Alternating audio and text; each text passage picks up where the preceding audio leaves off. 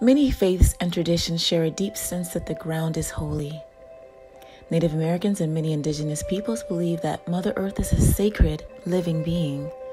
Walking barefoot connects us directly to the energy of the earth. Walking barefoot connects us to the calming security of the earth, whether you think of it as a spiritual grounding or simply a physical pleasure. The soles of our feet can tread a pathway to calm.